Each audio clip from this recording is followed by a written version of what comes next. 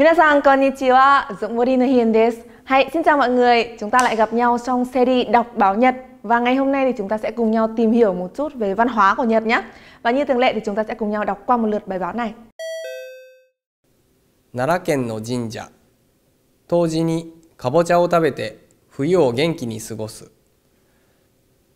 冬至は1年で一番夜が長い日です冬至にかぼちゃを食べると 風邪をひかないで冬を元気に過ごすことができると昔から言われています。今年の冬至の22日奈良県桜井市の大三輪神社はお参りに来た人に食べてもらうためかぼちゃの料理を1200杯用意しました。朝早くから大勢の人が並びました。そして大きな鍋で煮たかぼちゃを美味しそうに食べていました。大阪府からお父さんと来た小学生の女の子はかぼちゃは温かくて柔らかくて美味しかったです風邪は絶対ひきませんと元気に話していました Hay, vậy là chúng ta đã nghe xong một lượt bài báo này rồi đúng không? Bây giờ thì chúng ta sẽ cùng nhau dịch từng câu một của bài báo này nhé. Trước tiên sẽ là phần tiêu đề này. Tiêu đề ngày hôm nay của chúng ta sẽ là Naraken no jinja toji ni kabocha o tabete fuyu o genki ni sugosu. Chúng ta có từ vựng này, jinja là ngôi đền đúng không? À, toji, toji là gì các bạn có biết không nhỉ? Toji là đồng chí nhá. Ừ, đồng chí. Tiếp theo là kabocha, từ này rất là quen thuộc này. Kabocha chính là quả gì nhỉ? Quả bí đỏ hoặc là còn gọi là quả bí ngô nữa đúng không? Ừ. Fuyu mùa đông này. Sugosu là trải qua, sống. Vậy thì cái tiêu đề này sẽ là gì nhỉ? Một ngôi đền ở tỉnh Nara đúng không? và họ bảo là ăn bí đỏ vào ngày đông chí đúng không? Thì sẽ làm sao nhỉ? Có thể trải qua mùa đông một cách khỏe mạnh. Ok, rồi chúng ta sẽ cùng nhau tìm hiểu cụ thể bài báo này. Đầu tiên, Tochi wa 1 nen de ichiban yoru ga nagai hi. Ở đây là gì nhỉ? Người ta giải thích về từ đông chí. Đông chí là gì? Là cái ngày mà có ban đêm dài nhất trong một năm. Được chưa? Ngày đông chí chính là cái ngày mà có thời gian vào ban đêm dài nhất trong một năm.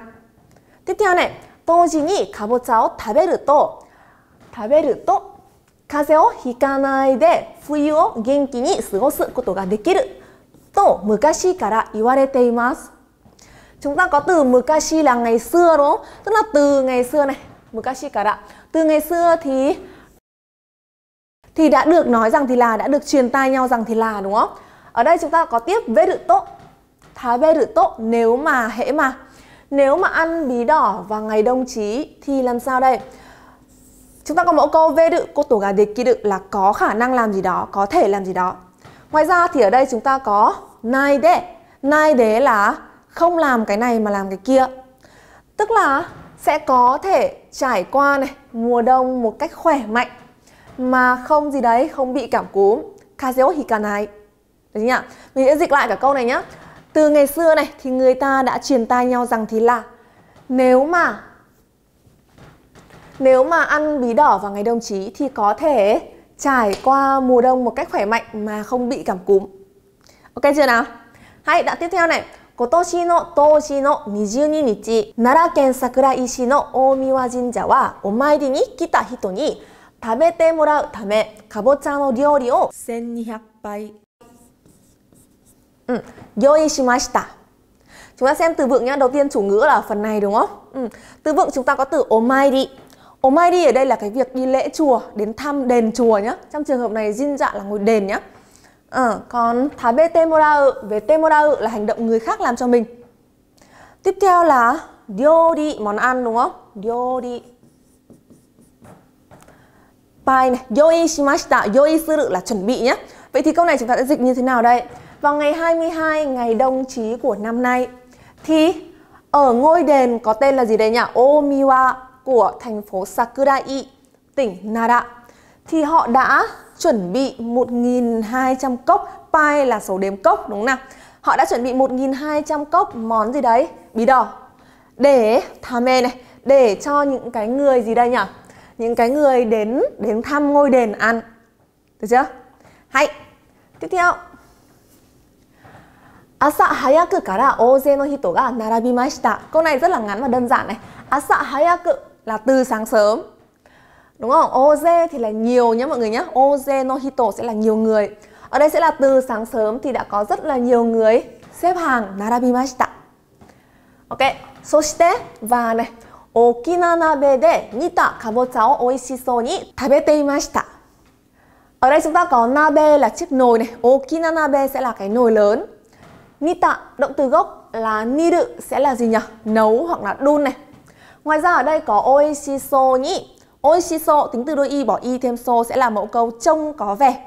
Nhìn cái gì đó và phán đoán đúng không? Ở đây sẽ là trông có vẻ ngon. Vậy thì câu này sẽ dịch như thế nào nhỉ? Và họ đã ăn đúng không? Một cách nào sao có vẻ rất là ngon miệng món bí đỏ đã được nấu này ở trong chiếc nồi lớn. Ok? Tiếp theo nhé.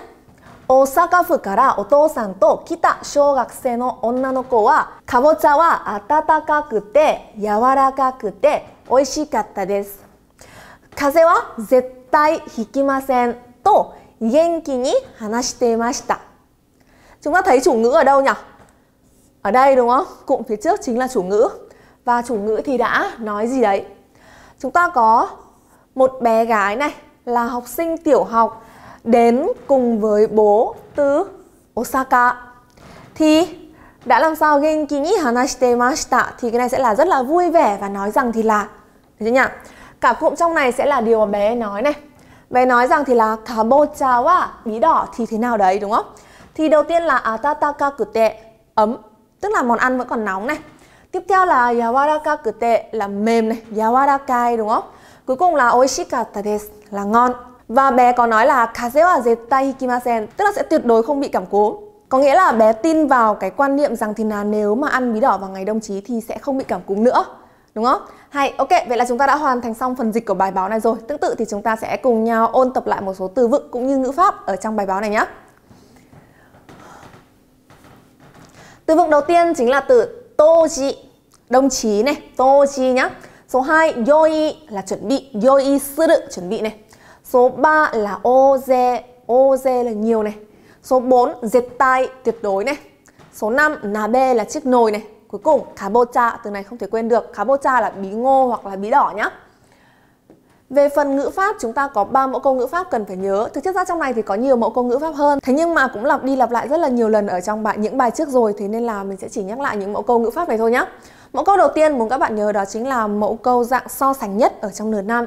Danh từ đệ trong phạm vi danh từ thì nani nani ga có cái gì đó. Ichiban nani nani desu. Trong phạm vi của n thì có cái gì đó là nhất. Được chưa nhỉ? Số 2 chính là mẫu câu V9 để là không làm hành động V1 này mà sẽ làm V2.